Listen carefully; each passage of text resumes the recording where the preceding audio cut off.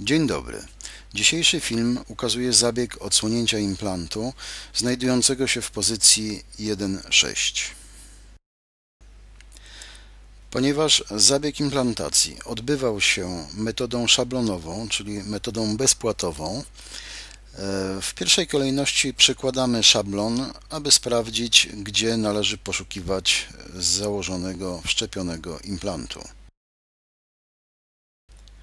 Tym przypadku lokalizujemy implant na szczycie wyrostka i tam też wykonamy nacięcie.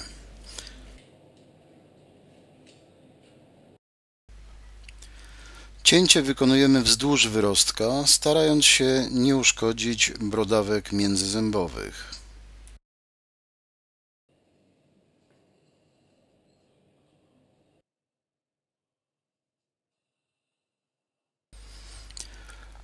Następnie małym rozpatorem rozchylamy delikatnie miejsce nacięcia, starając się zlokalizować poszukiwany implant.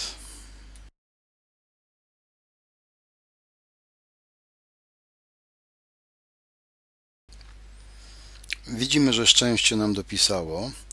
Widoczna pod błoną śluzową śrubka nakrywkowa zamykająca implant. W tej chwili delikatnie e, wydłużymy linię cięcia, tak aby łatwiej było uwolnić e, śrubę nakrywkową.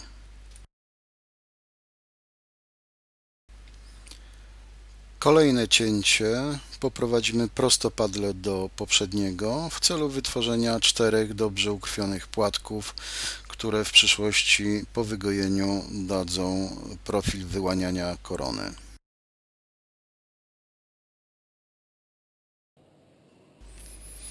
Wszystkie cztery płatki delikatnie raspatorem odwarstwiamy od śruby nakrywkowej na całym obwodzie implantu, tak żeby można było ją spokojnie, bez wywierania specjalnej siły wykręcić. Okazuje się, że jeszcze delikatnie musimy poszerzyć prostopadłe nacięcie. Robimy to naprawdę delikatnie i w minimalnym zakresie. Możemy teraz spróbować odkręcić śrubę nakrywkową. Tak naprawdę jest to pierwszy test stabilizacji implantu. Test praktyczny oczywiście.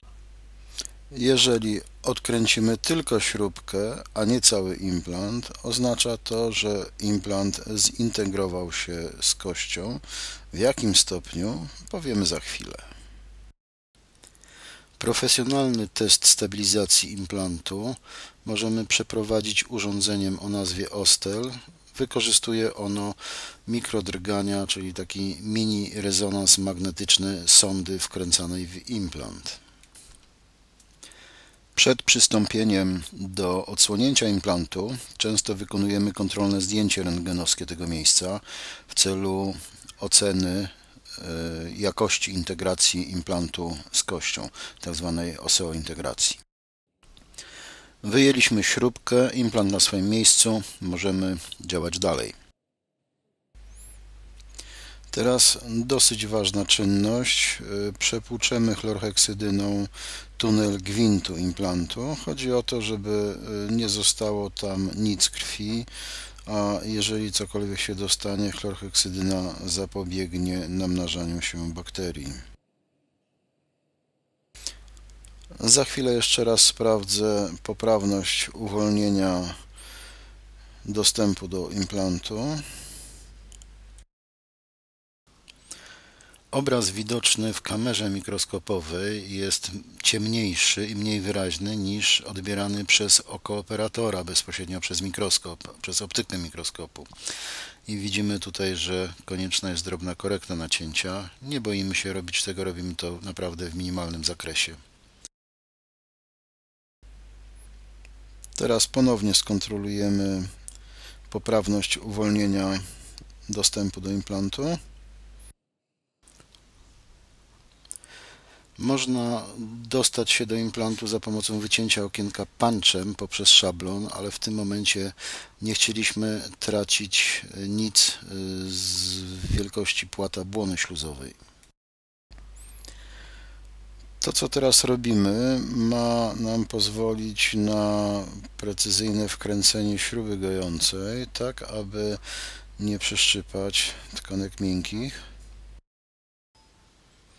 Występujące tu widoczne niewielkie krwawienie nie stanowi żadnego problemu przy tym zabiegu. Przed wkręceniem śruby gojącej znowu musimy y, przepłukać tunel gwintu implantu z tego samego powodu, o którym mówiliśmy przedtem. Tutaj widzimy, że gwint śruby gojącej został pokryty żelem, żelem z chlorheksydyną. Cały czas zapobiegamy dostaniu się y, krwi do tunelu gwintu. Możemy dokręcać ręcznie, możemy dokręcać maszynowo.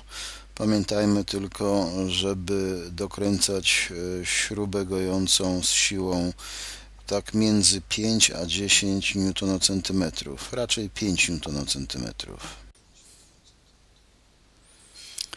Jeszcze raz płukanie, mycie, dezynfekcja. Staramy się zrobić to delikatnie, żeby nie wypłukać elużelu który nam blokuje dostęp e, krwi pod śrubę gojącą. Jeszcze ona nie jest dokręcona porządnie i za chwilę po adaptacji dziąsła brzeżnego dokręcimy śrubę. W tej chwili e, skontrolujemy ułożenie naciętych płatków błony śluzowej. Śruba jeszcze nie jest do końca dokręcona, ale w tunelu gwintu jest żel zapobiega dostawaniu się krwi do środka. Teraz ręcznie dokręcam do oporu śrubę gojącą, a precyzyjnie moment obrotowy ustalam za pomocą klucza dynamometrycznego. Trudna nazwa. Moment obrotowy do kręcenia śruby gojącej ma się zawierać między 5 a 10 Nm. Nie możemy przekroczyć tych wartości. Jeszcze jeden rzut oka w powiększeniu. Kontrola adaptacji błony śluzowej.